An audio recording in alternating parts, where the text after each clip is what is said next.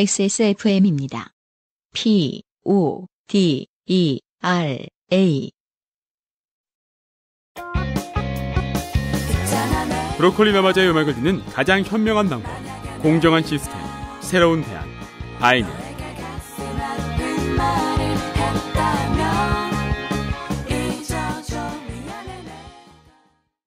그 외에는 이제 다른 장르로는 두 번째로 소개되실 땡지숙 씨의 사연이 있는데 그리고 또 하나 이 가족들이 에, 우르르 어딘가에 몰려가면서 들을 수 있는 있을 만한 사연들로 오늘 골랐는데 네. 그 중에는 태교 장르도 있습니다. 어. 보시죠. 네. 너 키울 때 내가 어떻게 좋게 됐다 이런 얘기를 하기 참 좋은 이야기일 겁니다. 아. 안녕하세요. 요팟시 애청자 땡지숙입니다. 음. 오늘 좋게 된 일이 있어 사연 보냅니다. 네. 의미심장합니다. 그러네. 어, 주어가 누굴? 없죠. 네, 누구 네. 목적 주어도 목적어가 없고 주어도 목적- 목적어가 네. 네. 주어는 없을 땐 나예요 보통. 그렇겠죠. 그죠? 네. 오늘 내가 좋게 만든 세상을 뭐 누구를 생략돼 있어요. 엄청나게 포괄적인 의미거나 네, 단순한 오타이거나 그렇습니다. 아, 저는 동네 백수입니다. 그리고 임산부죠. 네. 네. 이게 정확한 표현인지 모르겠습니다. 음, 예. 사실 어마어마하게 생산적인 일을 하고 계시는 건데. 그죠? 네. 예. 그니까 무슨, 실제로 생명을 생산하고 있는 거니까. 내가 무슨 10개월에 한 번 생산하니까 되게 게으르다고 할 수 있다. 이렇게 생각하십니까? 결과물이 10개월에 네. 하나밖에 안 나왔다. 그렇습니다. 아, 이 엄마 바보다. 네. 네. 백수답게 집 밖은 거의 나가지 않습니다. 저의 비사회성과 비사교성을 우려한 남편의 강요로 보건소에 태교 교실을 신청하게 되고 말았습니다. 어. 오늘이 첫 강의였습니다. 음. 먼저 아 그렇단 얘기는 아직 태어나지 않으셨어요. 음. 아 그쵸. 먼저 아이의 태명을 묻더군요. 음. 아기의 태명은 금봉이입니다. 네. 이렇게도 짓습니까 요즘? 태명이야 뭐 본인들의 다 사연에 따른 거니까. 아 그래. 네. 네. 어, 보통은 이제 한글 이름으로 태명을 많이 쓰시던데. 음, 뭐 희망이 뭐 대박이 뭐 이렇게, 좀 예. 이렇게 긍정적인 어떤 단어인데 네. 금봉이는 어 나름의 뭐 사연이 있겠죠. 네. 제가 수업에 지각해서 늦게 알았는데 다른 분들의 태명은 세련되셨더군요. 제가 좋아하는 스타일이세요, 땡지숙 씨. 네. 예. 아, 자신감이 없어요, 매사에. 자기 자신을 별로 안 좋아해요.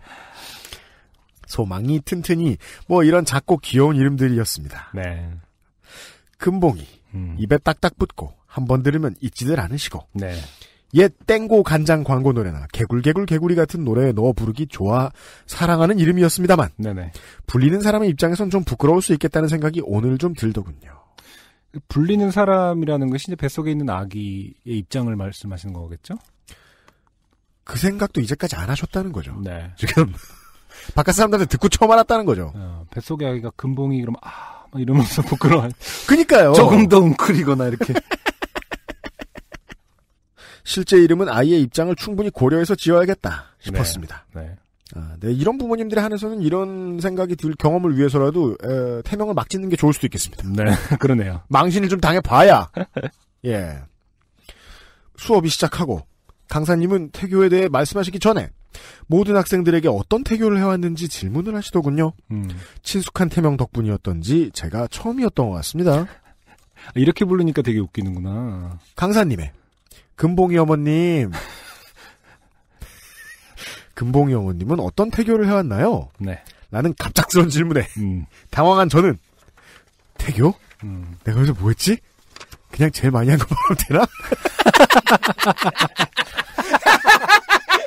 어, 웃긴데, 이거? 하고 내가, 내가 요새 뭐 했지? 그냥 제일 많이 한 거 말하면 되나? 이렇게. 하고 게 게임이요 하고 답했습니다. 단답형답에 익숙한 주입식 교육을 받은 저와 달리 강사님은 친절하게 어떤 게임이죠? 하고 더 물으셨습니다. 아마 이제 강사님은 그런 걸 기대하셨을 거예요. 이렇게, 뭐 이렇게 그런 거 있거든요. 네. 이렇게 배 여기를 톡톡 치면은 아이가 거기를 발로 차게끔 하는, 그러니까 엄마와 아기가 아, 뱃속에 있다 하더라도 게임을 하면서 소통을 하라고 하더라고요. 네. 예, 예. 그게 뭐라고요? 아, 그런 게임이 있어요. 뭐, 뭐, 이렇게 뭐, 뭐, 발차기, 그러니까 뭐, 뭐 영어로 뭐 있었는데, 아무튼 음. 뭐, 그런 게임인 줄 아셨을 가능성이 높다. 강사님은. 그래서 어떤 게임이죠? 라고 더 물으셨다는 거죠. 더 물으셨습니다. 순간 제겐 뭐? 위쳐 3.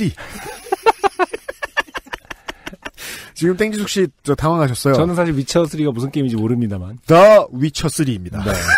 정관상 까먹으셨습니다. 위쳐 3? 아니 잠깐. 그건 임신부가 하기엔 너무 잔인한 게임인데 하는 생각이 스쳐 지나갔고 그거 말고 뭐였지? 하는 다급한 기억의 되감기 속에 문득 떠오른 오버워치요.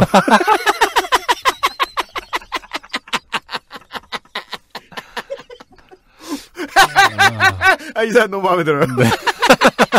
저 근데 게임을 잘 몰라서 그러는데 오버워치로 태교를 하면 어떤 영향이 있을 것 같습니까? 명사수가 돼요. 아 그렇군요. 어, 전, 요에 앞에 나와 있는 저 다른 게임을 하면요, 검객이 되거나, 네네. 마법을 부리는데요. 아. 예, 오버워치를 하면 총을 명사- 잘 쏘게 됩니다. 특히 머리를. 자. 마, 많은 분들이 웃으시더군요. 네. 아, 왜 다른 임산부들이 웃었는지 아십니까, 땡지숙 씨? 음, 음. 예. 저 사람 롤 하다가 초딩한테 쫓겨났구만, 이러면서. 오버워치로 갈아탔구만, 이러면서 다들 이게 공감한 거예요. 어, 나도 그랬는데, 나도 그랬는데, 이러면서. 아. 자. 차라리 덜 유명한 위쳐3가 나왔을까? 하는 생각이 이제야 듭니다. 네. 이후 강사님의 하루에 몇 시간이나 하는가, 음. 절제는 되는가, 절제는 되는 거. 아니 그게 그 굳이 그 이제 강사님께서 그냥 아, 강사님이 여성가족부에서 나왔을 수- 가능성이 높겠네요. 아, 아닌가? 보건복지부에서 나왔을 그- 수도 있겠군요. 아니요 네. 그 저 게임에 저 세금을 거두려고 하는 미창과부에서 나왔을 수도 있어요. 절제는 되는가 음. 등등의 걱정 어린 질문에 대답하고 앞으로는 안 하겠다는 약속을 드린 다음에야 아니 뭐 안 하겠다 그래요. 하긴 거기서 시비 붙으면 더 이상해요. 그쵸. 음. 질문은 다음 분으로 넘어가게 됐습니다. 다른 분들은 동화책 읽기, 동요 듣기, 바느질하기 등등을 하시더군요. 왜냐하면 초장에 망신당하는 걸 보고 준비한 거예요. 예. 심지어 제 옆에 분은 수학에 정석을 푸신다고 하셨습니다. 어, 그 옛날 습관처럼 집합까지만. 아, 우리 아이에게 네. 선수학습을 시켜야겠어. 내가 어디까지 했더라? 아, 하다가 수열, 행렬. 방정식에서 포기. 그렇습니다. 네. 그 어머님도 무슨 쌍곡선이나 타원을 하진 않으셨을 거예요. 네. 그래서 제가 다시 질문해달라고 요청해서. 저도 바느질을 한답니다. 라고 대답했지만.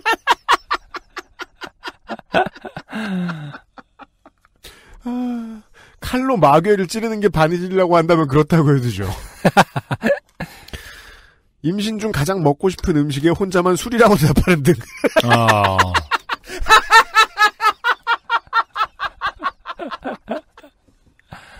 엇나감은 계속되었습니다. 그게 많은 사람들의 공통점 아니겠습니까? 나머지 분들은 계속 이분 이 땡지숙 씨. 그러니까 이분이 망하는 걸 보고 네. 다들 지금 도망간 거예요. 아니, 아니 지금 이분 땡지숙 씨 말고 다들 거짓말하는 거 아니에요. 그렇죠. 아니, 저는 만약에 집에 계속 있다 칩시다. 네네. 물론 뭐 한 7, 8개월까지 직장에 나가시는 분들 요즘 정말 많습니다만 만약에 이제 태교를 계속 집에서 하시게 됐다. 그럼 게임하든지 영화 볼 거 아니에요. 음, 음, 드라마 털든지 아니에요? 음. 어, 그러면 이제 뭐 이렇게 움직여라도 볼까? 하면 잠깐 왔다 갔다 왔다 갔다 하면서 이렇게 TV 네. 보고 계실 거 아니야? 그리고 뭘 제일 먹고 싶어? 술 아니면 담배지. 그렇지. 못 먹게 하는 걸 먹고 싶지. 그렇죠. 하긴 못 먹게 하는 것 중에 다른 뭐 짜고 매운 것도 있겠습니다만은 그렇다고 해도 그래도 그런 거는 뭐 드시죠. 어느 정도는. 근데 술은 그러니까. 아예 진짜 의학적으로 진짜 못 먹게 하는 거고. 그렇잖아요. 나머지는 이제 많이 그 자제를 하는 거고 짜고 맵게 뭐 이런 거. 솔직한 뭐. 답을 해야 될 거 아니야. 그쵸. 예. 네. 저는 코르요. 뭐 네. 솔직한 답을 해야 될 거 아니야. 저는 마치 세렝게티 초원의 나무늘보가 된 기분이었습니다. 네. 아 멋진 표현입니다. 음. 저는 이 순간에 왜 나무늘보라고 쓰셨을까? 음. 초원에 네. 좀만 생각해보니까 이해가 되더라고요. 그쵸. 이 세렝게티 초원이라는 곳이 음. 동물들에게는 마치 어, 세계 1, 2위 하는 대기업 같은 곳이에요. 음. 경쟁이 너무 치열해. 근데 나무늘보는 원래 그 그쵸. 땅 위에 있는 동물들 중에서 신진대사가 가장 느린 동물이잖아요. 그렇죠. 예. 제가 원하는 삶이에요. 사실. 네. 네, 제 이상형이죠. 그 먹을 일도 별로 없고 배설할 일도 별로 없고 소화할 일도 별로 없어서 가만히 있는 거잖아요. 그렇죠. 그리고 나, 남은 일뭐 이렇게 누워서 네. 이렇게 당근, 아, 네. 그 동영상 유명한 거. 호박 뭐 이렇게 먹다가 네. 당, 어? 당근 아니네. 이러면서 내려놓고 막 이런 거 그렇죠. 보셨어요? 그렇죠. 진짜 웃기는데. 그거. 아, 그런 삶이야말로 사실은 제가 원하는 삶인데. 음. 아무래도 엄마가 비사회적이고 비사교적인 백수라 제 아이를 좋게 만들고 있는 것 같습니다. 제가 노는 게 약올라 죽을 것 같다며 출근하기 싫다고 밤마다 나뒹구는 남편의 인생 소원인 저의 재취업은 과연 가능할까요? 음. 한동안 태교를 위해 바느질이나 하면서 요파 씨를 들어가겠습니다. 거짓말. 안녕히 계세요. 과연 요팟시는 어, 오버워치보다 네. 어, 태교에 도움이 될 것인가? 그니까요. 네. 그리고요, 요팟시 같은 거 이렇게 많이 들으시죠? 음. 그럼 배경으로 틀어놓고 요 오버워치 하는 겁니다, 또. 한 가지 걱정되는 거는 이제 UMC의 웃음소리 정도가 네. 아, 갑자기 깜짝 놀라게 어, 하는 것은 맞아요, 맞아요. 정도. 네. 그건 좀 조심하셔야 됩니다. 네. PS. 집에 돌아와 슈크림을 한 봉지 사 먹는데 음. 산부인과에서 전화가 와서는 임신성 당뇨 재검 받으러 오라는군요. 아, 전적으로 이 바깥 세상과 리듬이 잘 맞지 않으신 땡지숙 씨였습니다. 네. 제가 알기로는 한 봉지 가지고는 안 걸려 나오는 걸로 알고 있는데요. 그죠. 그러니까 덕용, 뭐 이렇게 땡스트코 이런 큰거 사신 게 아닌 이상 말입니다. 아, 네. 어, 땡지숙 씨 감사드리고요. 음. 다음번엔 좀 더 당당하게. 그렇죠. 네. 네. 우리가 이게 고등학교 때 게이머 생활을 할 때처럼 살면 안 됩니다. 음, 음. 예. 내가 말이지, 놀고 싶어 노는 것도 아니고, 음. 예. 세상이 일을 안 시켜주는데, 게임 좀 하면 어떠냐! 음. 이렇게 하셔야 되겠습니다. 다음번에 강사님이 물어보시면, 어, 위쳐 시리즈에 대해 자세히 설명을, 위쳐란, 어, 남자 마녀입니다. 이렇게, 스- 뭐, 북유럽, 뭐, 신화에 나오지요. 뭐, 이렇게 자세히 설명해 주시고요. 예. 오버워치를 안 해봤는데, 네. 그러니까 임신부로서 오버워치를 네. 좀 어떻게 뭐랄까 태교적인 마음으로 하려면은 가능할까요? 뭐 이렇게 headshot을 안 한다던가, 아, 계속 약간 부상만 입힌다던가. 아 그게 더 잔인한가? 허벅 허벅지만 쏜다던가 뭐 이런 거. 그 사실 원래, 저, 죽이는 방법 중에 제일 잔인한 방법은 늦게 죽게 하는 거예요. 어 그러면 계속 그래서 headshot 그냥 살게 두는 게 제일 잔인한 겁니다, 원래. 그 메르시를 해가지고 heal을 계속 줄 수 있거든요. 그건 일반 몸빵이잖아요. 맨 앞에 선 놈 뒤에 healer 붙이기. 그거만큼 잔인한 취미가 어디 있습니까? 그런 것만 피하시고요. 네. 예. 저는 임산부가 이런 오버워치 같은 FPS 게임을 즐기는 건 좋다고 생각해요. 아 그래요. FPS는 그 음. FPS에서 가장 중요한 건 언제나 accuracy거든요. 정확도. 그렇죠. 예. 음. 집중력을 키우는 훈련으로 그만한 게 없죠. 음. 사람 뇌를 자극하는 게. 음. 예. 음. 저는 어 아기 어머님한테 좋을 것 같기도 한데. 예, 근데 뭐 태교의 기본 목적이 네. 어머니가 뭔가를 음. 집중력을 키우고 아이를 위해서 네. 뭔가 좀 더 향상된다라고 생각하지는 저는 않기 때문에 아 그냥 두는 그, 게 최고죠. 아, 어머니가 행복한 게 제일 중요하죠. 아. 뭐말 그대로 좋은 호르몬이 계속 나오고. 내가 그래서 그렇게 얘기하는 거예요. 어, 어. 어머니가 행복한 게 제일 중요하잖아. 그렇죠. 그럼 데스가 많아야겠어요? 킬이 많아야겠어요? 간단한 걸 가지고 그래. 자, 아, 잘하시고요. 최선을 다해서. 네. 행복해지시기 위해서. 광고 듣고 세 번째 사연 만나보겠습니다. 안녕하세요. 요즘은 팟캐스트 시대를 진행하는 싱어송라이터 안승준 군입니다. 방송 어떻게 들으셨습니까?